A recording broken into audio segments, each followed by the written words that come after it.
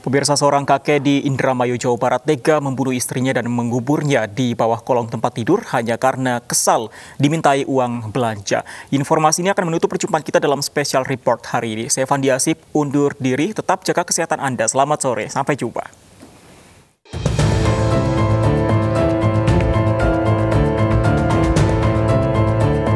Awal September lalu, warga desa Bangun 2 Indramayu, Jawa Barat dihebohkan dengan penemuan jenazah nenek Junah yang sudah 40 hari menghilang.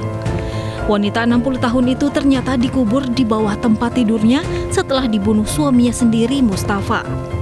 Kasus pembunuhan ini terungkap setelah tetangga korban mencium bau busuk yang menyengat dari dalam rumah korban.